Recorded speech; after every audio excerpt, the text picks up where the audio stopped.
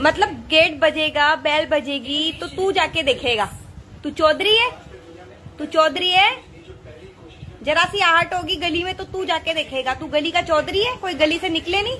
तेरे बाप की गली है?